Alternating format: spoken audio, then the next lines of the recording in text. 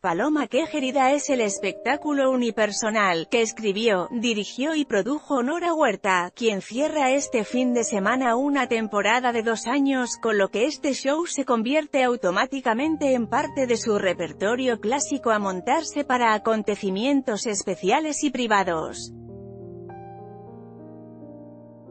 En entrevista con Organización Editorial Mexicana, UEM, la artista integrante de Las Reinas Chulas dijo que esta producción, me llenó de grandes satisfacciones en el escenario y fuera de este, porque cumplió con el cometido de llevar el mensaje de ya no violencia hacia las personas en todos los sentidos, debido a que es un fenómeno cultural como mexicanos ser sufridos, abnegados y víctimas, agregó Huerta.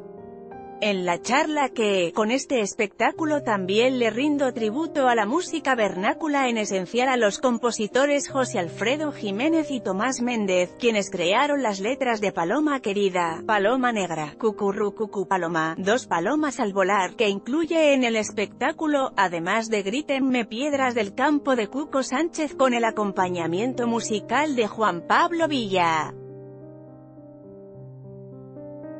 Nora recordó cómo inicia la historia dramatizada de Paloma Quejerida. Punto. Es una pajarita que lee la suerte a los asistentes y con el papelito dice que ellos traen una suerte muy torcida, quizá porque nacieron en México y entonces en mi papel de anfitriona buscaré en los siguientes minutos